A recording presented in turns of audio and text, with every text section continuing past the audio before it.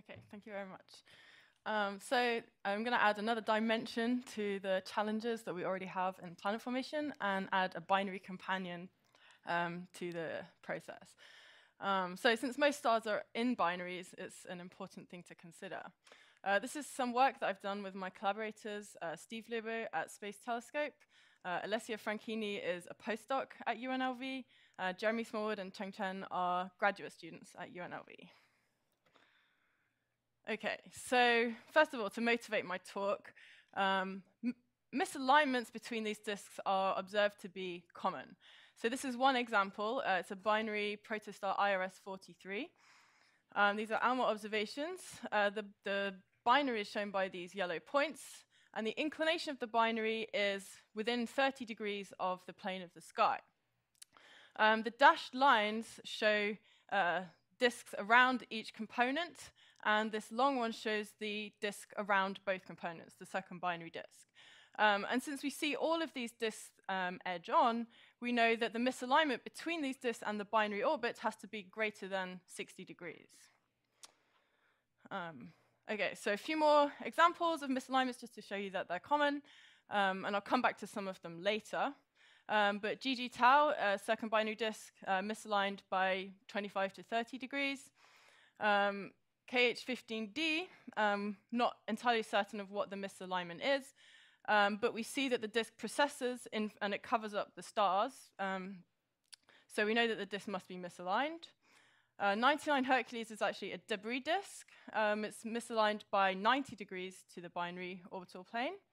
Um, and HD 98800, uh, recently found, uh, is a gas disk that's misaligned by 90 degrees. Um, and just to point out that the um, eccentricities of the, all the binaries in these cases are significant. Um, a little bit of background on um, binary star formation theory. So if the binary stars are thought to uh, form from disk fragmentation, then we would expect the orbital axis of uh, all of the three disks to be aligned to each other. Um, but simulations uh, suggest that this isn't the case. This is a simulation by Matthew Bate. Uh, he has uh, there's a binary at the center of this. Each uh, panel just shows a different view of the same object. Um, and you can actually see there's even two disks that have formed around uh, this one binary. Um, and the disks are misaligned to each other. So these have occurred from different accretion events during the star formation process. So it's likely that uh, turbulence within uh, the cloud actually affects the alignment of these disks. Okay, so let's try to understand the dynamics of the circumbinary disk. So the easiest thing first to understand is the orbit of a test particle. Okay, so we have the binary here. I'm initially just going to assume that this is a circular binary. This is the angular momentum vector of the binary and we consider a misaligned test particle. So the angular momentum of the test particle is in this direction. So because of the misalignment, we get nodal precession. So the uh, plane of the orbit of the test particle precesses about the angular momentum vector of the binary. Um, and during this process, the inclination remains constant in time. But the timescale for this precession depends upon how close you are to the binary. So the closer you are, the faster the precession rate is going to be in this test particle case. Uh, I'm going to explain this phase diagram because I'm going to use it later on when uh, things get a bit more complicated. Um, but for now, uh, so this is uh, I cos phi, where I is the inclination of the test particle to the binary angular momentum, and phi is the longitude of the ascending node, or the, the phase angle of the orbit. Um, so the distance from the origin in these diagrams is the inclination, and the azimuthal angle around is the longitude of the ascending node. So for this circular uh, binary, the test particles simply just precess with the same inclination. So constant inclination leads to just a circle in this diagram. The green orbits are orbits that are closer to alignment, so the orbit precesses about the angular momentum vector, and the blue orbits are uh, orbits which are closer to counter alignment, so they precess about the negative of the angular momentum vector. Okay, so what happens if instead of just one test particle, we instead have a disk? So we've already said that each ring, each um, the precession rate depends upon the distance from the binary. So particles in the disk that are closer to the binary want to precess on a faster timescale than those further away. Uh, but in the disk, the ring, each ring of the disk is connected. So there are two ways that it can be connected. First of all, um, if it's a low viscosity disk, it can be connected through wave-like communication. Or if it's a high viscosity case, then it can, be, uh, can communicate through viscous effects. Uh, protoplanetary disks generally have a low alpha, um, and so we're in this wave-like communication regime. So the precession is communicated about half the sound speed. So if the disk is going to be able to hold itself together and precess as a solid body, so every radius precesses at roughly the same rate, then we need the, the time that it takes these waves to cross the disk to be shorter than the precession timescale. So if this is satisfied, then we, then we have solid body rotation. If it's not satisfied, the disk isn't in good communication, uh, then this can lead to effects such as disk warping, um, where different parts of the disks have different inclinations, or even disk tearing. Um, so you see here there's an inner disk that's uh, ripped off from the outer parts, um, and now each disk precesses on different time scale. Um, but for typical uh, parameters for protostellar disks, um, it's likely that they'll precess as a solid body. Okay, another difference between the test particle case and the disk is that we have dissipation within the disk. So what this means is um, we're moving to a, a lower energy state. Um, and so instead of the disk precessing around the binary angular momentum vector um, at the same inclination, it instead spirals in. So it moves towards alignment with the binary angular momentum. Okay, but things become more complicated when we introduce uh, some eccentricity into the binary orbit. So this, again, is the same phase plot that I showed before. Um, so I cos phi, I sine phi. So uh, remember, the inclination is the distance from the origin. Um, but this is now for an eccentricity of 0.5. So if we're close, we begin with an orbit that's um, small inclination. Again, we still precess about this angular momentum vector of the binary. But if um, our inclination is above some critical, then instead of precessing about the angular momentum vector, we instead precess about the eccentricity vector. Um, so we introduce these new types of orbits. Uh, so on the next slide, I'm just going to look at one of these orbits in more detail. So this is an orbit that begins at an inclination of 60 degrees. And this shows how it changes in time. And this is the longitude of the ascending node. So we're exchanging the inclination with the longitude of the ascending node during these uh, oscillations. Uh, the solid lines show a particle uh, closer in, and the dashed lines show a particle farther away. So the farther away uh, the test particle is, the longer this time scale for the precession. Um, okay, but the amplitude of the oscillations uh, remains roughly the same. Okay, so there's a critical inclination um, dividing the two regions between the two types of solutions. So I was just looking at an, a binary that had an eccentricity of 0.5, um, and this critical inclination was uh, roughly 40-ish degrees. Um, but this critical inclination depends on the binary eccentricity. So the higher the binary eccentricity, the smaller the critical inclination.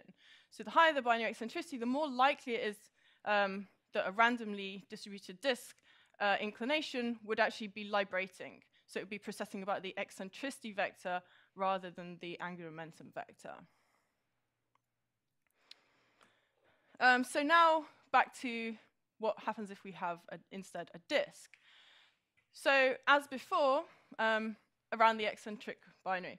So if the inclination is low, the same process happens as before, um, and it's going to align to the angular momentum vector of the binary. But if our initial inclination is sufficiently high, we can instead precess about the eccentricity vector.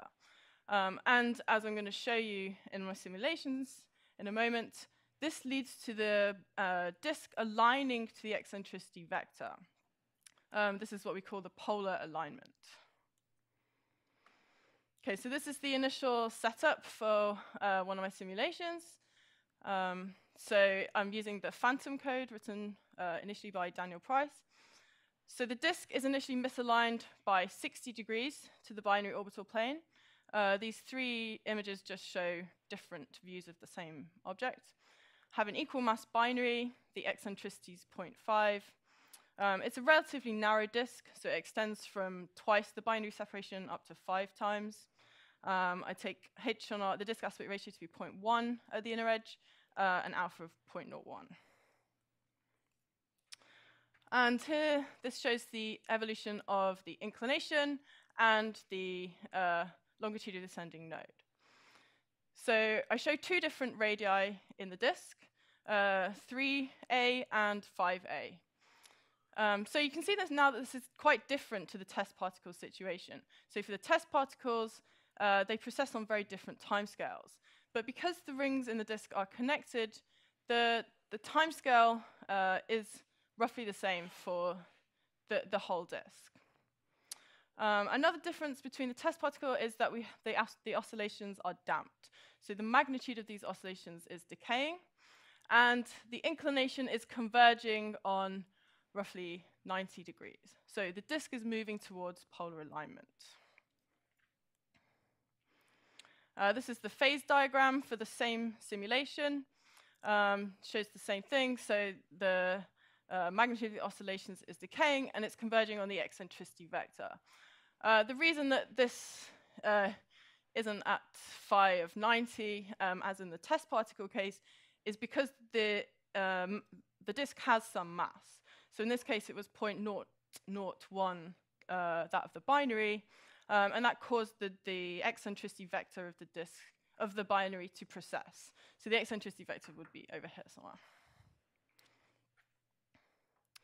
Um, and this is what the disk looks like after 500 binary orbits. This is the xy plane, so the binary is orbiting in uh, this plane, um, and you can see that the disk has become very close to polar aligned to the binary. Uh, we explored a wide range of disk and binary parameters. Uh, so the radial extent of the disk. So if we um, increase the size, um, the process still occurs. If we increase it uh, sufficiently, we can, uh, the disk will no longer be in good communication, uh, and this can lead to disk breaking. Uh, the same is true if we decrease the disk aspect ratio. Um, Again, we can get disk breaking.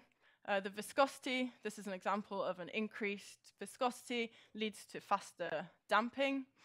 Um, binary eccentricity and binary mass ratio also. So we find um, it's a very robust mechanism. It operates for a wide range of parameters. Um, we also solved the wave-like warp disk equations um, from Lubow and Ogilvie 2000. Um, so this assumes that the disk is initially close to polar um, and that the amount of warping is small. Um, these are both reasonable assumption assumptions. So we ran another simulation, uh, which began at 80 degrees, um, very close, to compare to this uh, theory. So the top plot shows um, the period of the precession um, as a function of the inner, uh, the inner truncation radius of the disk. Um, and the simulation agrees very well uh, with this linear theory. Uh, and then this bottom plot shows the damping rate, so the rate that it moves towards alignment. Okay, then more recently we've considered uh, the effect of the disk mass. So this qualitatively has a significant impact on the final alignment of the system. So the plot on the left is the same simulation that I've been showing. Um, it's a low mass disk, um, initially misaligned by 60 degrees, and the disk is moving towards polar alignment at 90 degrees. Uh, this is the longitude descending node, and the red line is the binary eccentricity vector. So you see that it's tightly coupled, it's oscillating um, about this eccentricity vector. Now on the right, this shows a higher disk mass, 0.05. So the same mechanism operates. Again, it begins at 60 degrees, um, but you see that the magnitude of the oscillations are much smaller. And the disk is actually oscillating about a much lower inclination of about 70 degrees. Um, you'll also notice that the precession rate is much faster in this case. Uh, that's because the mass of the disk is causing the binary to precess uh, in time. Uh, the separation of the binary shown in the third panel. Uh, there's not terribly much uh, evolution. Um, but the eccentricity of the binary is changing. Um, in particular, in the high mass case, it's oscillating, but it's also decaying in time. Okay. Um, so we calculated analytically this stationary inclination. Uh, so by stationary inclination, I mean um, the inclination that this would uh, align to over time. Um, okay, so this shows this inclination as a function of the ratio of the angular momentum of, the, of a third body compared to the binary. So this isn't actually for a disk, this is a third body, but it's a good um, approximation. So if we increase the angular momentum of the third body, or the mass of the disk, if you like, uh, the stationary inclination decreases, as we just saw in the uh, previous simulation. Uh, this, the different colors show three different uh, binary eccentricity. Okay. Oh, and I should also point out, um, JJ also has a paper on this. yeah. Um, so I think he, he solved it uh, numerically, right? Yeah. Okay. Um, and then we can also calculate the critical inclination. So the inclination um, above which we would be in a librating state, so we precess about the eccentricity vector, and below which we're in the circulating state, where we precess about the uh, angular momentum vector. So this is the, uh, well, the, the upper line just shows the, the same, that I, uh, uh the stationary angle that I showed before, um, and the lower line shows the, the inclination um, between the two different states. This is the ratio of the angular momentum of the third body to the uh, binary. So if we're below this um, critical inclination, then we're going to align to the binary. If we're above it, we're going to align to the eccentricity vector. Uh, okay, so I'll just um, go back quickly to uh, some of the observations. So uh, 99 Herculis is a circumbinary debris disk that's observed to be polar aligned um, within a few degrees. So it's likely that a gas disk formed at some inclination. Um, so the eccentricity is uh, almost 0.8. So the inclination doesn't have to be very high for this mechanism to work. Um, and then the gas disk is going to move to polar alignment, uh, leaving behind uh, any debris in this state. Um, and then KH15D, um, roughly an equal mass, uh, well, this is a simulation for an equal mass binary, um, but the eccentricity is very high. It could even be up to 0.8. So if we look at the, even just the test particle orbits for such a high eccentricity, you see that these, the precession, these aren't circular. So the inclination is changing in time. So even in the case um, that this disk is moving towards alignment, it's not going to move towards alignment monotonically. There have to be large tilt oscillations during this process. So if the disk begins at 20 degrees, um, it can increase up to 70 degrees even during this alignment process. Um, and then recently, uh, this was the first observed uh, polar aligned gas disk, uh, HD 98800. It's actually a quadruple star. Um, so there's two stars uh, here and two stars inside this circumbinary disk. and this uh, circumbinary disk is observed to be polar to uh, the binary BB. Uh, the disk is relatively narrow, and so um, this is a likely mechanism that formed uh, this polar aligned disk. Okay, so in conclusion, um, this polar alignment mechanism operates um, uh, around an eccentric binary, so it leads to the alignment of the disk to the eccentricity vector. Um, it operates for a wide range of uh, parameters. Uh, the final alignment depends upon the mass of the disk. So if you have a very massive disk, the alignment could be uh, 70 degrees. So then it's going to depend on what, where the debris ends up is going to depend on uh, the timescale for the dispersion of the disk. So if the disk was dispersed very quickly and the debris was left at 70 degrees, then after this uh, time, uh, everything, all the objects which just uh, in, uh, interact through gravity will just precess on their own timescale. So you'll end up with a thick structure rather than a disk. So this could lead to problems for planet formation. Um, but if the dispersion occurs more slowly, then during this time the, the disk could uh, move to polar to 90 degrees, um, dragging the debris with it. So planets and debris disks around eccentric binaries may actually be more likely to be polar aligned than aligned with the binary orbital plane because of this process. Um, so I just left a challenge. Uh, so how is this going to affect the planet formation process? Uh, thanks for your time. Thank you.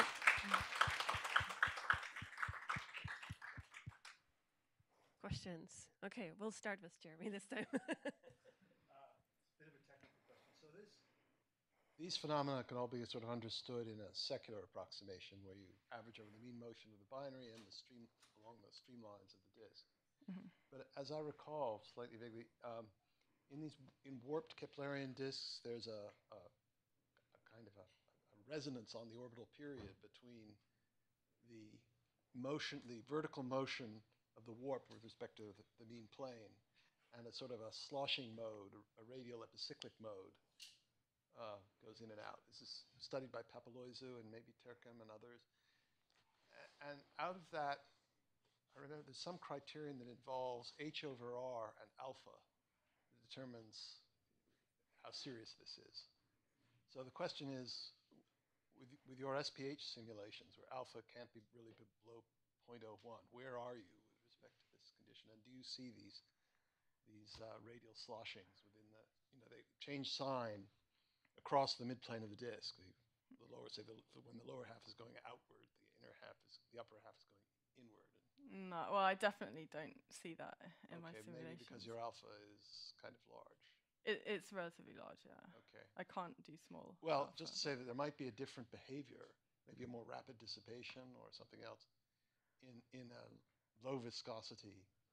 If, if it is low viscosity PPD, it might be a qualitative change in some aspects of the behavior. Okay. You can Look at those little JJ? papers. So, so the criterion is when h over r is greater than alpha. Y- Yeah, yeah, yeah, yeah. No, so yeah, yeah, yeah, yeah. So it's yeah, yeah. So it's yeah, yeah. So if I remember, yeah, yeah. Yeah, yeah, yeah, yeah, yeah, yeah. So yeah, and if, if I remember correctly from your simulations, usually alpha was significantly less than h over r. And basically, what happens, like those sloshing motions that you mentioned, yeah, yeah, those that's when the bending waves can resonantly propagate across the disk. And when that criterion is not totally satisfied, instead of resonantly propagating across the disk, they, they locally damp. Um, and that's, that's when you get the different behavior. It's because they can't propagate across the disk anymore. All of the interactions are much more local um, towards where the warp is. Um, Thanks. Any other questions? Yes. Uh, so does does this make any predictions for transiting circumbinary planets? Um, they should be there. Someone needs to find them. but I mean, obviously, it's more difficult because they're not going to transit every orbit. But yeah, I think they should be there. Especially now as we're finding polar aligned disks. Yeah. And I guess you're also making predictions for how they should be aligned with the rest of the system. Yes. Okay, if there are no further questions, let's please uh, thank uh, Rebecca again, and then we'll break for the coffee.